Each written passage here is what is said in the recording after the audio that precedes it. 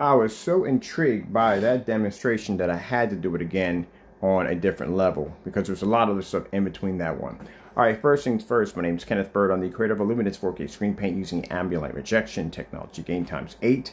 Uh, I'm going to do a short demonstration here. This is not going to take long like the other one did. And this demonstration, we're going to do a color pattern test. So keep in mind when you're dealing with a white screen or light gray screens, and when I was coming up, light gray screens, uh, white screens were all the rage. There was no such thing as gray. There was no such thing as black or dark or anything like that. And you had to calibrate your projector. This is where calibration came from, from the, from the white screens, because they could not produce a proper color. I had this conversation before many times. But now, doing this against a black screen, I'm going to show you where, in this demonstration, as I said before, that a white screen or light gray screen will always have the ability to be able to produce a higher white level um, than a black screen. A black screen will produce better contrast, but also a black screen will produce better color pop.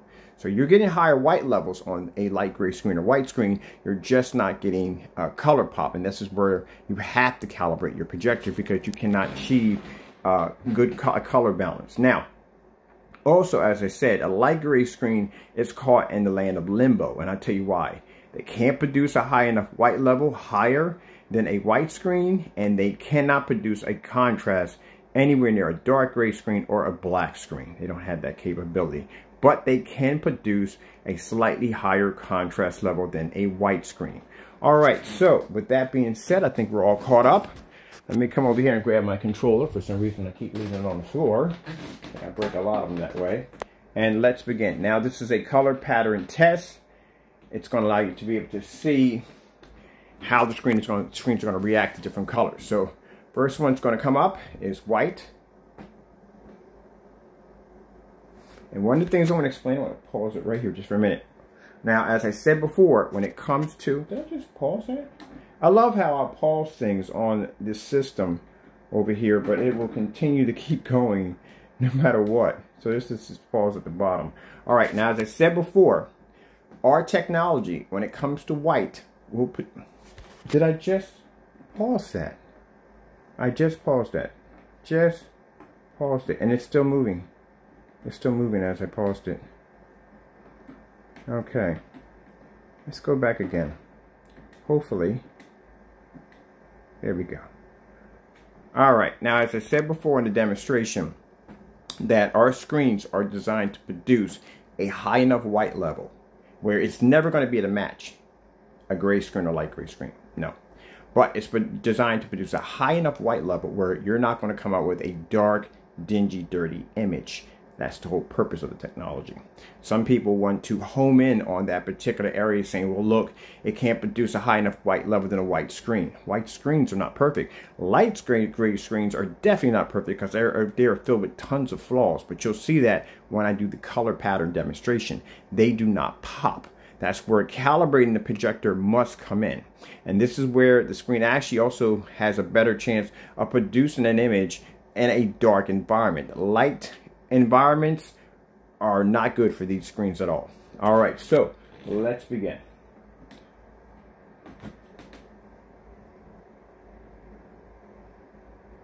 Now, keep in mind, pause this again. If the image is this dark here, that I'm displaying against a white and gray screen, the white levels should look the same way here as it will in the next demonstration where we show the Asian woman in the kitchen. The white levels should be this dark.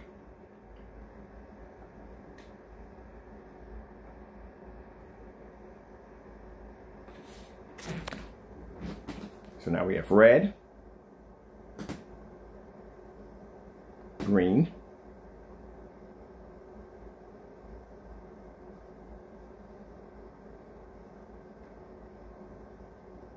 blue. This is why when I did the demonstration on the PS4 background, it came up faded. This is why. Black.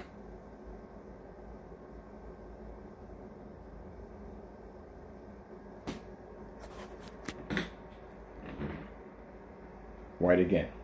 Now, come out of here for a minute. I can figure out which controllers let me to move. All right.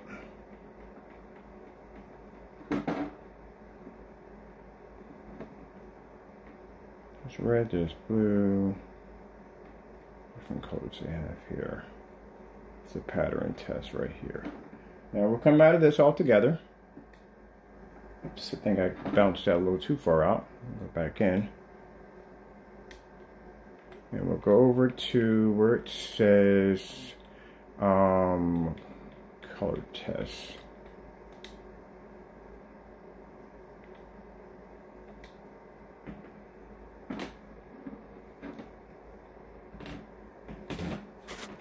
Now you see how the colors are faded and washed out? That's not a lighter color, that's a faded color.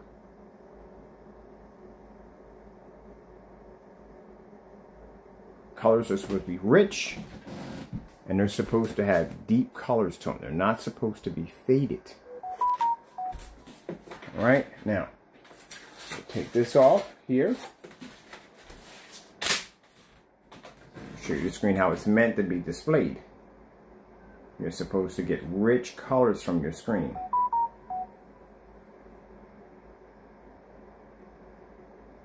You can't get that from a white or gray screen because you would have to be sitting in the dark to do that. Now, let's go over to the, really quick, let's go over to our, take this off, we'll clear this. Alright, and we'll go to the, to drop my controller here. Oh, I thought I cleared that. Hold on for a minute. We did not clear that. Take that off. Alright.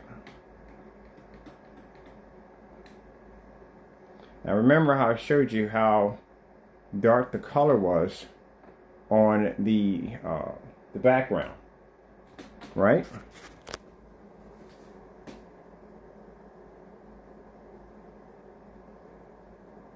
Like I said, next to a white or gray screen, it, not, it cannot produce a high enough white level. It's not going to be as white as those screens. That's virtually impossible. But the black technology has the ability to be able to produce a high enough white level where your screen will not come out dirty, will not come out dingy, will not come out black that you can't even see the screen. That's what you have to be to back up in your demonstrations. That color pattern test, that's a real test that they will put your screen to. You think I'm joking. They will stick your screen against the color pattern test and it will stick a white screen and gray screen, different color screens up there to see how your screen reacts. Now, someone said you're going to get brighter colors from a um, from a uh, from um, from a lighter gray screen paint. No, you're not getting a lighter color. You're actually getting a faded color and that screen has a better chance of producing an image in a dark environment than a well-lit environment.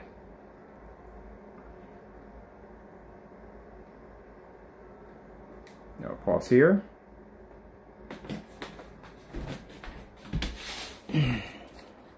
I bought my you're on the floor, which I should have everything up.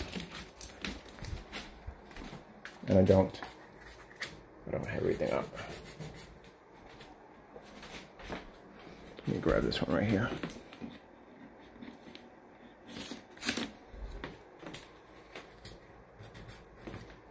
Okay.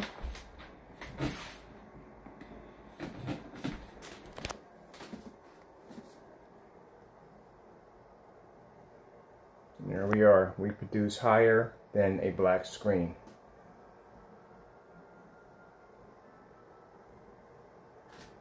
So dirty image looks. Like I said, any black screen is going to pull contrast. Problem you're going to have from a black screen, it's not going to be to pull, any other black screen is not going to be to pull high enough white level.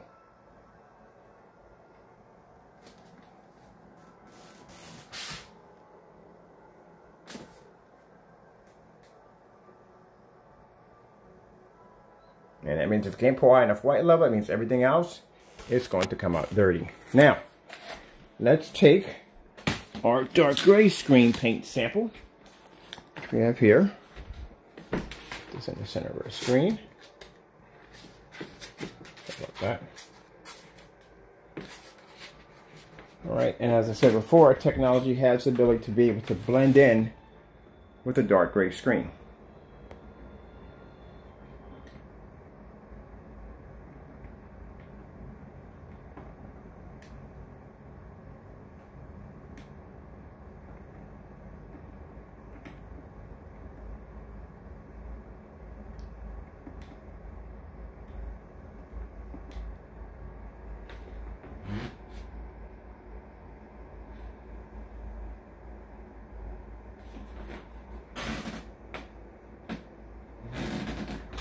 And these are the kind of demonstrations you have to be able to pull off.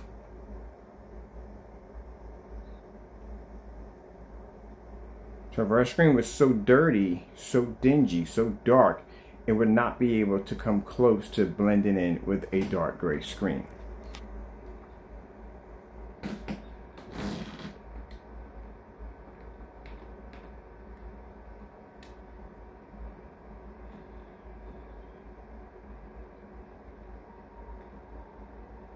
All right, I hope you enjoyed the video demonstration. Thank you all for your time. I'm Kenneth Bird from Luminous 4K Screen Paint using ambient rejection technology gain. I'm going to get out of here real quick. I have much to do today and I got some business engagements that have to be met.